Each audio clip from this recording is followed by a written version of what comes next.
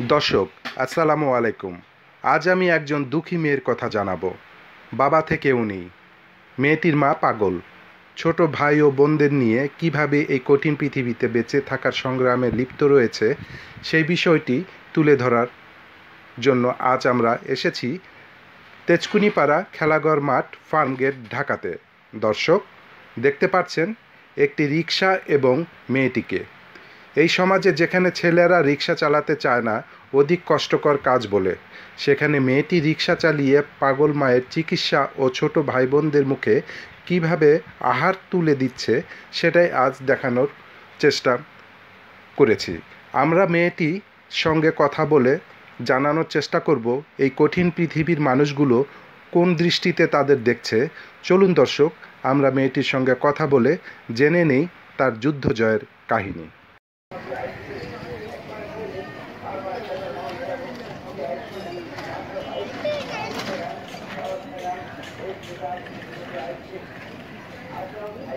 আপা আসসালামু আলাইকুম। আপা আপনার নাম? রুমানা। কতদিন যাবত রিক্সা চালান আপনি? এই দেড় মাস। তো কি কারণে চালান আপনি? আমার বাবা নাই। বাবা থাকতেও বাবা নাই আমাদের ছেড়ে চলে গেছে। আমার একটা পাগল মা আছে আর আমার তিনটা বোন আছে ছোট ছোট তাদের সংসারটা তো আমার উপরেই চলে এর জন্য আমি রিক্সা চলাই। তো এই পেশা কেন বেছে নিলেন আপনি? এক আমি গেছিলাম চাকরি করতে আমি মূরক্ষ দেখে কেউ আমাকে চাকরি দিতে চায় না। আর আজকাল বাসা বাড়িতে যে কাজ করব গ্যারান্টি দিতে চায় না যে খারাপ আছে ভালো আছে এর জন্য কেউ দিতে চায় না। তা আরও তো অনেক কাজ ছিল যেমন গার্মেন্টসের কাজ হ্যাঁ, হ্যাঁ, বাসা বাড়ির কাজ। বাসা বাড়ির কথাই তো বললাম যে ভালো মন্দ তো বুঝে আসে না কার মনে কি আছে সে তো আর বলা যায় না। আর গার্মেন্টস চাকরি করতে গেলে তারা পড়াশোনা তারা চাকরি দিতে চায় না এখন আর। আচ্ছা প্রতিদিন কত টাকা ইনকাম করেন এই ধরেন ছয়শো সাতশো গাড়ি জমা দিয়া তিনশো গাড়ি জমা দিয়া তিনশো চারশো থাকে। তো সেটা দিয়ে কি আপনার সংসার চলে? না চললেও একটু একটু চলতে হবে টুকটাক। কয় ভাই বোন আপনারা? আমরা তিন বোন এক ভাই ছোট। সারাদিন কত ঘণ্টা আপনি রিক্সা চালান? এই আটটার দিকে বাড়াইলে ধরেন আটটার দিকে বাড়াইলে আবার রাত সাতটা আটটার দিকে আসা পড়ি। তো রিক্সা চালাতে আপনার কোনো সমস্যা হয় না? সমস্যা বলতে মানুষ কত রকমের কথাই তো বলবে। কর্ম করে খাইলে কেন কথাই বলবে? আজকে খারাপ কাজ করে খাই সবাই ভালো বলবে। সবার কাছেই ভালো থাকব। কিন্তু ভালো কাজ করি দেখে কেউ ভালো বলতে চায় না। তো এই কাজ যে কাজটা করেন আপনি এই কাজ করে কি আপনি নিরাপদ মনে করেন? নিরাপদই আমার মনে হয় এটা। নিরাপদ মনে করেন? জি। এই আচ্ছা এই যে রিক্সাটা দেখতেছি এই রিক্সাটা কি আপনার? জি না আমার না আমি যার এখানে থাকি বর্তমানে এক ফুপি উনার রিস্কা আচ্ছা তো আপনি কত দিয়ে কিনেছিলেন এই রিক্সাটা? এটা আমি বলতে পারব না আমার ফুপি বলতে পারবে কত দিয়ে কিনছে। কত ঘণ্টা চার্জ থাকে? এটা থাকে এই ধরেন সকালে বাড়াইলে এই বিকাল বেলা রাত পর্যন্ত যায়। আচ্ছা বাবা আছে আপনার? আমার বাবা থাকতো এখন বর্তমানে নাই সে চলে গেছে। কোথায় গেছে? সেটা আমি শিওর জানি না কোথায় গেছে। আপনাদের খরচ দেয় না? এই শুনছি কিছুদিন আগে এক হাজার টাকা করে দিছিল আর এখন আসেই না আর দেও না। এখন কি আর কোনো দেখাশোনা করে না? না। রিক্সা চালিয়ে যে আয়টা হয় তা দিয়ে কি আপনাদের চলে তো? ভাই হ্যাঁ, বোন একটু- হ্যাঁ, মা চলে চলে কিন্তু সংসারে চলে। কিন্তু আমার ভাই বোন করে যে একটা ভালো কাপড় কিনে দিব কিংবা ভালো লেখাপড়া করাবো সেটা পারি না। আচ্ছা কেউ যদি আপনাকে সাহায্য করতে চায় হ্যাঁ। সেক্ষেত্রে আপনার সঙ্গে কীভাবে যোগাযোগ করবে? জি আমার ফোন নাম্বার আছে কিংবা আমার ফুপির ফোন নাম্বার আছে নিতে পারে। তো এই জায়গাটার নাম কি বলবেন? যে এটা ফার্ম গেট তেজকুনি পাড়া খেলা গোমার আর আপনার আহ, যে address মানে যদি আপনাকে কেউ সাহায্য করে তা হ্যাঁ। আপনার মোবাইল নাম্বারটা একটু বলবেন? জি বলতে পারি zero one six zero one six হ্যাঁ। তারপর? তারপর four three nine four six eight one seven four three nine four six eight one six eight one seven হ্যাঁ। বিয়ে করছেন না কেন? আমি বিয়ে করছি না এখন বিয়ে করে কি হবে? আজকাল ছেলেরা তো ভালো না। যে আমার আমার স্বার্থের জন্য আমাকে বিয়ে করবে। আমার ভাই বোন মা কি তারা কি পারবে? পারবে না। তো এইভাবে কতদিন থাকবেন আপনি? এইভাবে আগে আমার ভাই বোন করে একটু ভালো করি ভালো লেখাপড়া শিখাই ভালো পরিবেশে নিই জানি কেউ না বলতে পারে তোর বোন রিক্সা চলায়। তুই খাইছে আজকে তুই এরকম এদি জানি না বলতে পারে যে ওরা কর্ম করে খাইতে পারে ভালো একটা চাকরি নিয়ে খাইতে পারে আমার মতন জানি না হয় তারপর আমি বিয়ে করব। এই যে আপনি রিক্সা যে চালান আপনার বাবা জানে? আমি সেটা জানি না আমার বাবা জানে কি জানে না সেটা আমি জানি না। আপনার বাবার কাছে আপনি কতদিন ছিলেন? আমার বাবা আমাদেরকে এই তিন চার বছর ধরে রাইখা চলে গেছে। তিন চার বছর? হ্যাঁ। তারপরে এখন আর দেখাশোনা করে না। আপনারা কি যোগাযোগ করেছিলেন আপনার বাবার সাথে? হ্যাঁ যোগাযোগ করেছিলাম। একদিন শুধু ফোন ধরছিল এরপর আর ফোন ধরেই না। উনিও আর ফোন করে না? না। আপনারা আহ, তার উম, এ, মানে উম, যোগাযোগ করার চেষ্টা করেন নাই আর? হ্যাঁ করছি কিন্তু পাই নাই। আপনি যে এই রিক্সাটা যে চালাচ্ছেন আপনি কি মনে করেন আপনি উম, জীবন যুদ্ধে জয়ী হতে পারবেন? হ্যাঁ পারব। কীভাবে পারবেন না আপনি বলেন? দেখি কি- মানুষ দশ রকমের কথা বলবে তাদের কথাই তো আমার আসে যায় না। আমি কি করি সেটা আমার উপর আল্লাহ তো দেখতাছে। আমি তো খারাপ কাজ করলেও করতে পারতাম পারতাম। কিন্তু খারাপ কাজ তো করতেছি না কর্ম করে খাইতেছি। আপনি কি মনে করেন যে কেউ যদি আপনাকে চাকরি দিতে চায় বা সাহায্য করতে চায় সেক্ষেত্রে আপনি উম, সেই চাকরিটা করবেন? যদি ভালো হয় তাহলে করব। খারাপ হইলে তো আর করব না। আপনি তো প্রতিদিনই রিক্সা চালান। আচ্ছা আপনার মাকে তো দেখছেন না আপনার মা কোথায় এখন? জি আমার মা পাগল তো কখন কোথায় যা সেটা আমি বলতে পারি না। তারপর আমরা খোঁজ নিই যে কোথায় যা কিবা কি করে না খাইছে কি না খাইছে আমরা খোঁজ খবর নিই। তা আপনার হ্যাঁ বলেন। কিন্তু এখন কোথায় গেছে সেটা বলতে পারি না।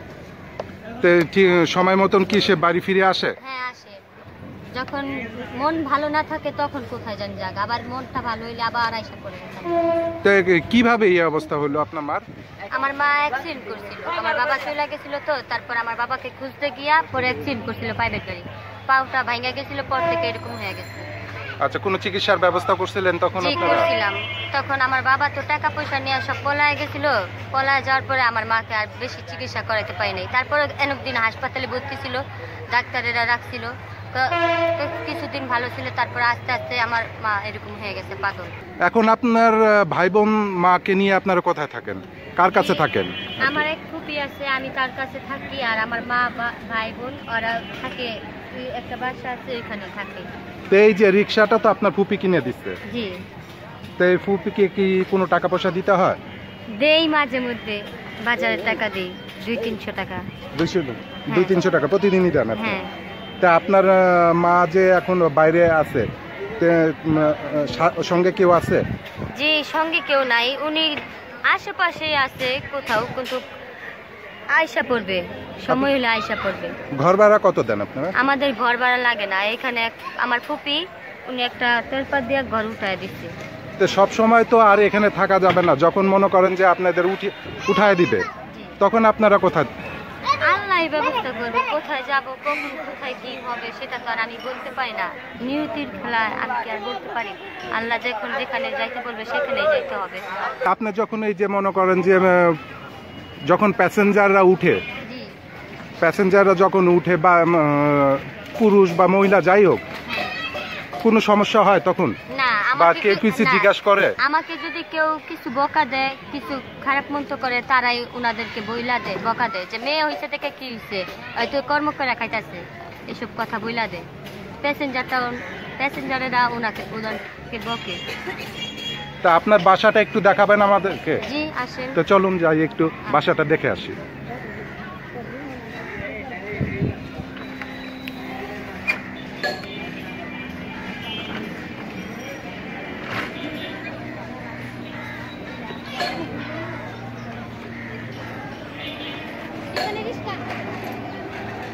দর্শক, চলুন আমরা দেখে নেই রোমানের ঘরটি।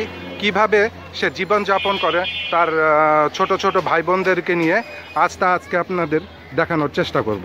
তো চলুন দর্শক, একটু ঘরের ভিতরে দেখানোর একটু চেষ্টা করি।